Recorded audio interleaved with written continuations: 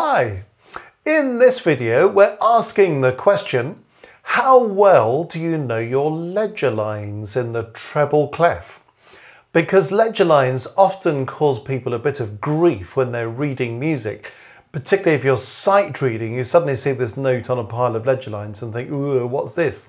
So let's have a quick look at just a few to see how well we would get on with just looking at them and knowing what they are. Well, here's a clue in the treble clef to deal with your ledger lines. As I'm sure most people know, if you're on one ledger line below the treble clef, you are dealing with middle C. There's middle C. So we already know that this one is middle C. Also, if you're on two ledger lines above the treble clef, you are on another C.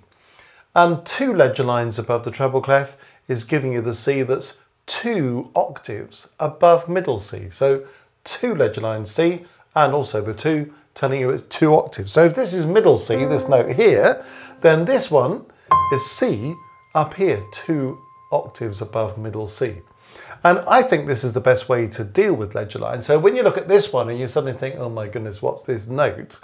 What you don't really want to do is start on F on the top line there and have to count up thinking, well, if that's F, that's G, that's A, that's B, that's C. It takes you forever, doesn't it? But if you think, well, you already know that two ledger lines is C, and it's this C, two octaves above middle C, well, then you can kind of skip up the next two lines because the next line must be E, a third above the C, because you've got a note in between. And the next line must be a third above that, so this note must be G. Okay, so if that's C, this is E, that's G. So you see there it is, and you know which G it is because you know that two ledger lines is two octaves above middle C, so it's G above that. Okay, let's look at this one. What do you think this one is? If this one is middle C, well, you can already get to that one. The next line down then must be two notes below C because you've got a space in between. So you don't have to go C, B, A, G, that takes too long. You can think, well, this one's C, so this line must be A, and I'm in the space below A, so it's G. Which G is it? It's the G below middle C, a fourth below middle C. My goodness, what's this horrendous looking thing up here? Well, two ledger lines, remember, is C, so that's already saved you a lot of time, isn't it? Instead of counting up from F on the top line, which is what a lot of people do, I find, then that takes you ages. But that's C, now hop up quickly from there. C, E, G, B. So this is C. Which C is it? Well, it must be C that's three octaves above middle C. Or this C is an octave above this C. So if this C is this one, two octaves above middle C, here's C, three octaves away.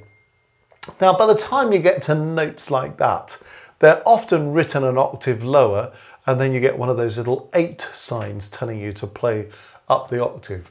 But you see how to do that? Instead of starting here going F, G, A, B, C, D, E, F, G, A, B, C, by which time the piece is finished, you might as well just start here and quickly go C, E, G, B, that must be C. So you can get to do these very quickly. Okay, what about this one? Well, here's the first ledger line below the treble clef. We know that's middle C, so let's skip down in thirds from one line to the next. C, A, F, D so you get there quite quickly. I do actually believe it's quite useful just to know your ledger lines, certainly three ledger lines above a stave and three ledger lines below a stave uh, for any serious player who's dealing in an instrument that's going to encompass that part of the range. Just learn what the notes are. We go to all that bother, don't we, when we start to learn to play an instrument or to sing to read the notes on the stave. People spend hours going F, A, C, E, and all this stuff to remember what these are.